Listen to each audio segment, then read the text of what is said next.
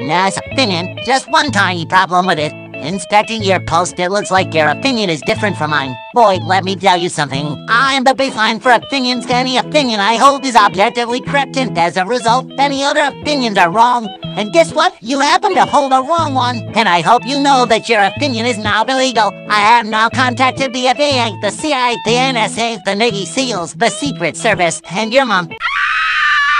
You rot in prison for the rest of your life over this. Mark my words, you'll be sorry you ever shared your opinions.